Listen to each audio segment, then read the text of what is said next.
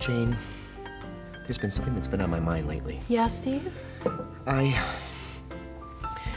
Would you. Steve, yes? It's kind of hard for me to find the right words to oh, say. You can tell me anything, honey. I am so not good at this. No, you are, honey. You can say anything to me. Well, here goes. Oh my God. Steve. What I want to Yes, say to you Steve, yes. it's my nuts. Oh. I'm worried about my nuts. Um, There's all these things in the news today, you know, things attacking your nuts. look, I. I guess it starts with my wood. Your wood? Yes, I haven't been keeping my wood local. I have been dragging it all over the country. Now? Here. How can you be saying these things? Jane, I'm sorry. I should have burned it where I bought it. What is that supposed to mean? That trip I took to California, I spent so much time at those local campgrounds. Who knows what I caught? Oh my God, I think I'm gonna be sick. I should have known better. These pests and these diseases, they spread. Usually by people like me and you. Okay. Yeah, um, on that point, uh, I guess maybe there's something I should be telling you too. It was Hillary's bachelorette party in Vegas, and there was just the All one the insects bartender. are like wreaking heaven in our nation's forests. Wait, what? Insects? Oh, I thought you were talking about something entirely different. Insects, Jane. insects. I'm talking about invasive insects here.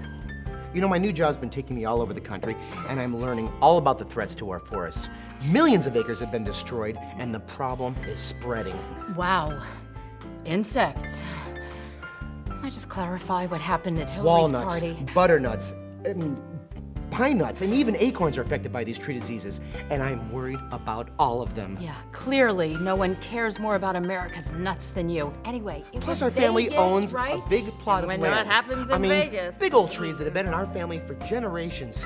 And these insects and these diseases could ruin them. Okay, so this guy is giving us, all of us, free drinks. And then it was like, well, what would you do for free nachos? And you know how much I love nachos. What I do know is that these tree diseases are moving on our firewood. What we need to do is buy only local firewood. Buy it where you burn it, they say. Got it. Buy it where you burn it. These anyway, on a dare, I and I stress it was a dare. To trees, to the woods, to the forests that we love. I know I am never, and I mean never, going to move my firewood again. Trees. Trees, yes. Uh, what are you talking about? Trees. yes. Trees. oh, Steve, we all love our nation's forests, and it's time we helped stop this terrible problem. Oh, gee, that is so great to hear you say that. Mm. I knew you'd understand. Hey, wanna go get some nachos?